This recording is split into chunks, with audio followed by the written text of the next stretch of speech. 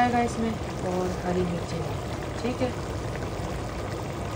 अस्सलाम वालेकुम कैसे हैं सब? Welcome back to my channel तो लीजिए जी, आज हम उठ के हैं ज़रा सुबह सुबह यहाँ पे है ये फजर का टाइम और इसके बाद जो है, थोड़ी देर हम करेंगे वेट और नीचे चलेंगे। ये जी सुबह होगी प्रॉपर और यहाँ पे जी आज आ रहा है मेरा भाई पाकिस्तान से। तो चलिए नाश्ते की तैयारी करते हैं, क्योंकि पाकिस्तान में आपको पता है, ज़रा पराठों परूठों का नाश्ता होता है, साथ में सालन का होना बहुत ज़रूरी है। हम तो ब्रेड वगैरह खा लेते हैं, अंडे वगैरह, लेकिन पाकिस्तान में प्रॉपर नाश्ता चाहिए लोगों को। तो यहाँ पर मैंने कहा, चलो इसके लिए पहला दिन है।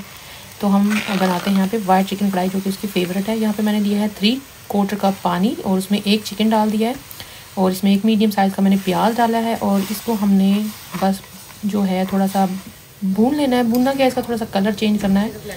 एक टेबल स्पून इसमें मैंने डाला है लहसुन का पेस्ट अदरक इसमें अभी नहीं जाएगी। तो यहाँ पे हमने इसको ढक के पकाना है इसी पानी में, ताकि ये प्याज भी अच्छी तरह गल जाए और चिकन भी हमारा थोड़ा गल जाए। तो बस इसको हमने अच्छे से इसी तरह ढक के बीच बीच में आप चेक करते रहें पर आपने कवर करके इसको पकाना है, ताकि प्याज अच्छी तरह गल जाए। तो यहाँ पे काफ़ी हद तक प्याज हो चुके हैं। अब यहाँ मैं इसमें ऐड करूँगी योगर्ट थ्री क्वार्टर कप ही मैंने योगर्ट लिया है और इसी में हम इसको पकाएँगे, क्योंकि वाइट कढ़ाई है तो इसमें हमने कलर कोई नहीं डालना। तो इसमें हम पहले योगर्ट डालेंगे ताकि ये थोड़ा पक जाए इसी में और इसका फ्लेवर भी इसमें आ जाए। तो इसको दोबारा से आप कवर करके रखते और थोड़ी देर और पकाएँ। यहाँ पे मैं डाल हूँ थ्री क्वार्टर जो है टी स्पून वाइट पेपर यहाँ पे थ्री क्वार्टर टी स्पून ही मैंने इसमें डाला है सूखा धनिया जो कि मैंने पीसा हुआ है। और सेम अमाउंट में मैंने डाला है ज़ीरा भुना हुआ है और कुटा हुआ है। ये सारी चीज़ें डाल के आप इसको अच्छे से करें मिक्स। और यहाँ पे हमने इसको भूनना है। अगर आप बार बार चम्मच लाएँगे तो जो प्याज है वो अच्छे से टूट जाएँगे। और ये देखें अच्छा सा मसाला बन जाएगा। यहाँ पे मैं इसमें अब ऑयल ऐड करूँगी hundred and fifty M L आप कम भी डाल सकते हैं, लेकिन इसमें ज़रा ऑयल ज़्यादा जाता है।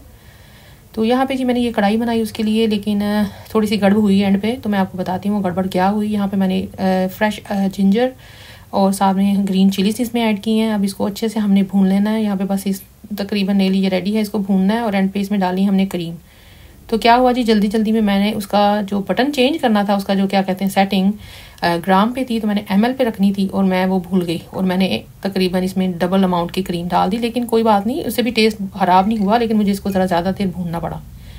तो यहाँ पे ये मैं इसमें काली मिर्चें ऐड कर रही हूँ, तकरीबन क्वार्टर टी स्पून हम ज़्यादा नहीं डालेंगे, क्योंकि अगर हमने काली मिर्चें ज़्यादा डाली तो इसका कलर हो जाएगा चेंज तो यहाँ पे हमने तकरीबन क्वार्टर टी स्पून ही डाली अगर आपने ज़्यादा मिर्चें करनी है तो ग्रीन मिर्चें आप और ऐड कर सकते हैं, या वाइट लेकिन आपने काली या रेड मिर्ची इसमें नहीं ऐड करनी। तो ये देखिए अच्छे से भुन गया है, और यहाँ पे हम इसमें अब थोड़ी देर बाद इसमें क्रीम ऐड करेंगे।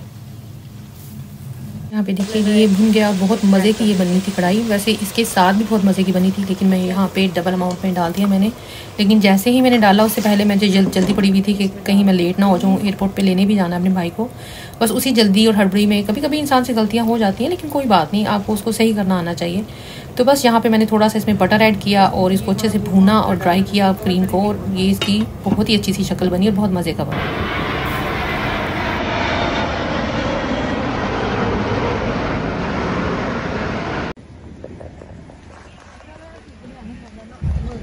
जी, हम एयरपोर्ट पे पहुँच गए हैं, चलिए उसको लेके आते हैं और फिर चलते हैं घर और करते हैं नाश्ता।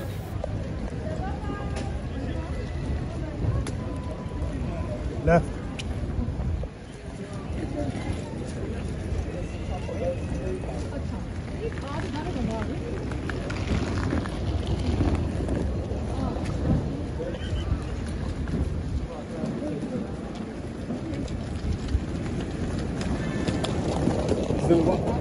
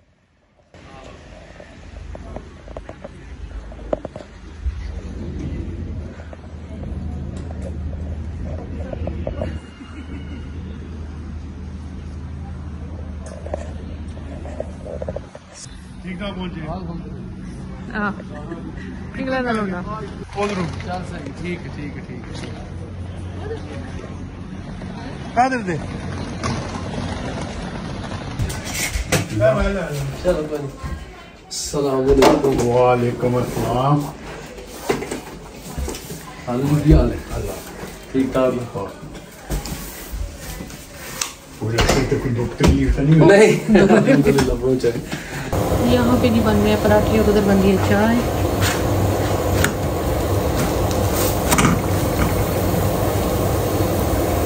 यार दोस्ती होगी हाँ करा। बेहतरीन परांठे पकाए फैजी वास्ते। वो फिर आधा पे छड़ जाएगा। चलिए जी, दिन हो गया ख़त्म और अब हो गई है शाम तो मुझे लगा कि कुछ और बनाना चाहिए क्योंकि सुबह का नाश्ता किया हुआ था, सबने पराठे खाए हुए थे। तो यहाँ पे बन रही है लैम बिरयानी, जो कि बहुत ही मज़ेदार बनी थी।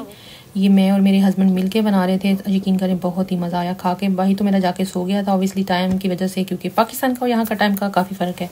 उसको आई हुई थी नींद, वो तो सो गया जाके, लेकिन ये हमने खूब मज़े मज़े ले लेके खाई और बहुत मज़ा आया। बहरहाल यहीं पे एंड करते हैं इस ब्लॉग का और इंशाल्लाह नेक्स्ट वीडियो में आपसे बहुत जल्द मिलेंगे। जाने से पहले आपको रिमाइंड करवा दूँ कि अगर आपने अभी तक चैनल सब्सक्राइब नहीं किया तो जल्दी से चैनल को सब्सक्राइब कर लीजिए और वीडियो को लाइक और शेयर कर दीजिए। दुआओं में याद रखिएगा। इंशाल्लाह नेक्स्ट टाइम बहुत जल्द मिलेंगे। अगली वीडियो में आप इजाज़त दीजिए। अल्लाह हाफिज़।